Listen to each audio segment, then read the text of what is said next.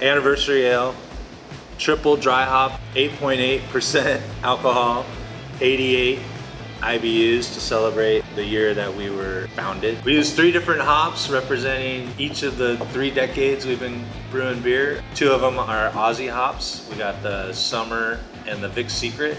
And then we got Citra hops representing America, West Coast style. The idea was to bring that together, just like these two have come together and breathe new life into SLO Brew. Uh, Australian hops are way more tropical fruit, so more papaya and mango. And then the West Coast hops, the mosaics, are very danky, a little more powerful and pungent.